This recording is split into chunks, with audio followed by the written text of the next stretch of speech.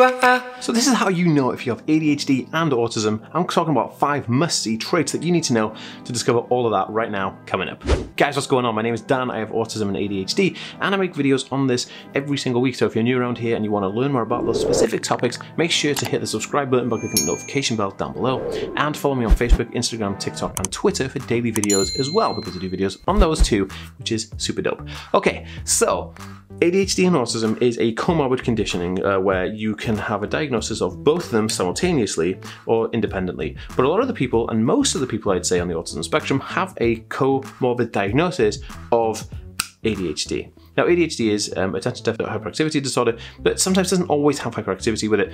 But regardless of that, this video is awesome because I've got five traits I want to talk to you about that you can see the crossover and these things are so challenging because they impact your life in so many ways. So the first one I'm going to talk about is irritability and hyperfocus. So autistic people will be able to set, sit down and focus on a specific task or a topic, right? Um, for large amounts of times. I mean, I used to sit down and, uh, and want to watch alien movies, uh, like homemade movies of UFOs in the sky, and I was really sad, until like three o'clock in the morning, wake up on my keyboard. However, the ADHD brain kicks in and makes you want to stand up and walk around and go downstairs and make some tea and then, you know, your legs bounce up and down and maybe walk to the side of the room and pause the video and look at something else or pause that video and look at something else. So it's kind of like a battle between wanting to really focus on something and wanting to get up every 10 seconds and do something else. This is so common between autism and ADHD. It's really funny because this is probably the biggest one that like really sucks for me and it really I think it annoys me the most.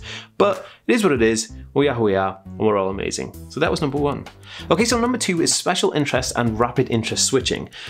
Oh boy let's get into it. So people on the autism spectrum will have a specific topic of interest that they're obsessed with and that they really kind of obsess over right? And they love to learn about they love to research love to talk about and like you talk about it for hours with them they collect all the things that in that genre of topic. But the ADHD brain will then make you want to switch your obsessive interest rapidly, so you have many different special interests on the go at once, and then as soon as you've consumed enough capital on that thing, you move to something else. This is how the ADHD brain and the autism brain have this big fight pretty much every single day. And it's really fascinating to see because you can really be obsessed with many different topics and learn many different things. This is why a lot of people will say that autistic people are very intelligent or have a high IQ because they're switching between these topics and learning vast amounts of different things all the time and retaining that information, which is something that I actually do as well. And it is, again, quite a funny thing to talk about, and I never really sit down and talk about it myself. This is why I'm doing this video because I want you guys to know what this is like, and maybe you have it. Let me know down below. If these are resonating with you, drop me a comment down below and give the video a like, it really helps me out. Okay, so number three is fast speech and monotone talking. So autistic individuals will uh, want to talk about their special topic of interest, but they will have a very monotone talk. There will be no inflections on words and stuff like that. It'll be very monotone, almost kind of like robotic talking, but the ADHD brain will make you talk super fast. So I feel like I talk really, really fast and when I'm in real life, when I'm talking to people, I have monotone talking. When I'm doing videos, I'm performing. I'm, I'm doing this like this. But if you you know, if we were talking normally and you were here with me right now, I'd talk like this and it'd be very monotone talking. And I would have a very rapid speech because ADHD wants you to speak really fast because your brain's going like a thousand miles an hour. But autism wants you to have a really flat flow, you know, flow pace to how you talk, which is really interesting because it's the most frustrating thing to me because I trip over my words all the time. And I also mumble sometimes because it's just a big kind of like they're just hitting heads constantly, those two things. Okay, so number four is uh, wanting to be social versus social anxiety. so lots of people with ADHD want to be social and make friends and have fun because they want to do crazy stuff and they want to kind of like, you know, really feel that um, friendship because friendship allows for a comfortable feeling uh, that you know that you're being looked after and that you're liked and you're loved. And that, there's nothing wrong with that. And ADHD people find interest in those things because they um, can have attention with different types of people for short amount of time, and that's great.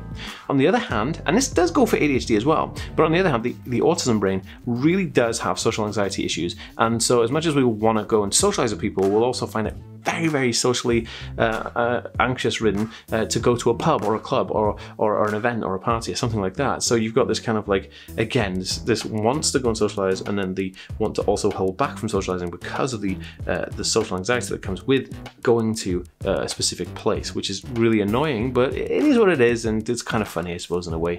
but Not really funny. You know what I mean? Not actually ha funny, but just like, oh, it's quite interesting, isn't it? Number five is wanting to talk a lot, but then also forgetting what you want to say.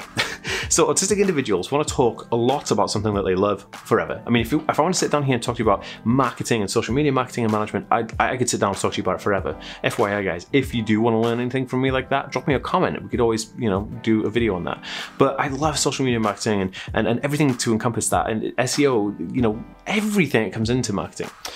In terms of the ADHD brain, how often do you kind of like start saying something, but your brain starts wandering off and you forget what you're doing? You're like, oh my gosh, I'm stood up in front of my entire family telling the story, and now my brain has just exited the room and I have no idea what I'm talking about.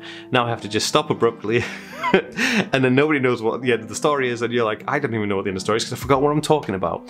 This is so funny. This happens all the time, and it's definitely it's an ADHD classic um, but it's also annoying because the autistic part of you wants to just kind of go all like train in and give them this like locomotive information. So that's really funny and it's it's it's how it, they react. So do you suffer with the ADHD and uh, on autism kind of overlap? Let me know in the comments down below. Also, if you haven't already, download my free Autism Life Hacks PDF book at autismhacks.net. Love you guys.